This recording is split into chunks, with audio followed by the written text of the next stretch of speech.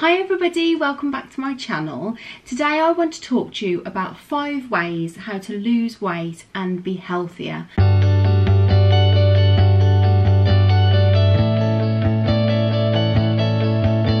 Um, my name's Juliette, if you don't know already. I am a mum of two and I vlog all about beauty, lifestyle, motherhood, um, you know, everything that I can think of. But over the years I've done a lot of different diets and the one thing that I have found is that there are a few fundamentals that run the same through every single thing, every single plan you do. Um, but if you want to hear my five tips to lose weight and become healthier, then keep watching. Okay, so let's get straight into it. So number one, drink more water. I think it's one of the things that a lot of people struggle with. I don't mean tea, I don't mean coffee, I mean water or squash. Try to drink at least two litres of water a day. And the reason being is you actually hold water in your body. You can retain up to a stone in water. Um, so if you find that you want to drop weight really quickly, if you start drinking water at least two litres a day you will see the weight start to drop because the water that you're retaining will be released from the body and that is a really good way to start and boost your weight loss. Number two get sleep. It is really, really important to get sleep if you can. Now, being a mum of two, I know that this isn't easy. Um, on a good night, I get six hours now with my little one being eight months old. Um, but six hours is brilliant when you when it's compared to like the hour that I used to get when he was first born. But just try and get to sleep when you can. If you can put your kids to bed finish up around the house and you go to bed that would be brilliant. It just means that you can get those that sleep in get that rest in and it really does help with your weight loss. Number three up your exercise.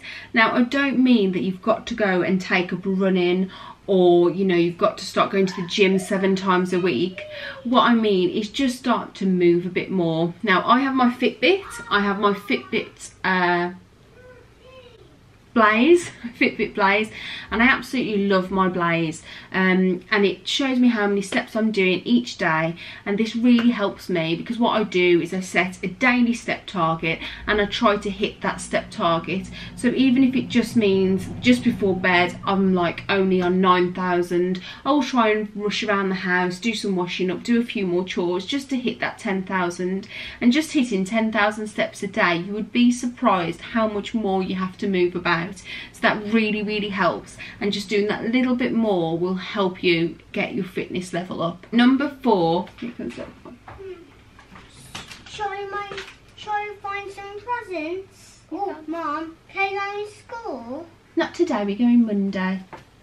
Oh mom how about we going how about we going out and shops? And we can find my presents again. Okay go on then. I'll see you in a bit.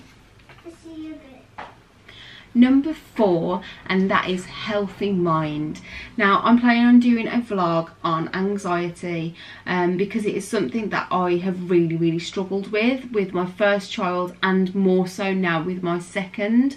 Um, it's even really difficult for me to talk about now but I do find that a healthy mind really helps. Um, when I'm down and when I'm having um, anxiety, panic attacks, um, and when I'm going through a real depressed time, I find that I comfort eat, I struggle with my weight, um, I get really depressed about my body image and I think that when you're negative about your body image you it does affect how you lose weight. I actually used to follow Paul McKenna, who's a hypnotherapist in, um, he did a weight loss journey.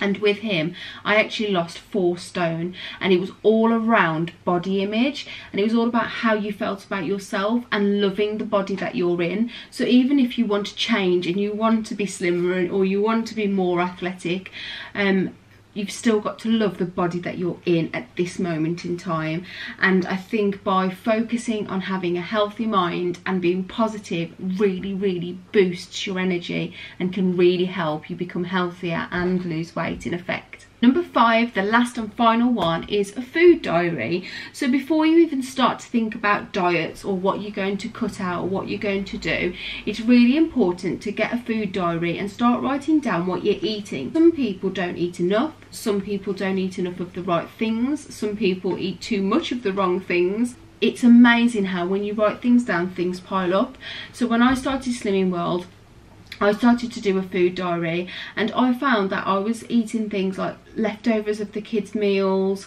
um, biscuits was my massive one. I think it's really important to make a food diary see what you're eating and then go from there.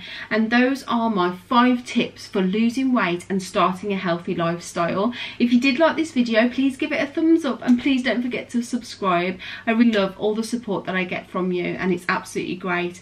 Um, I hope to see you soon. Take care bye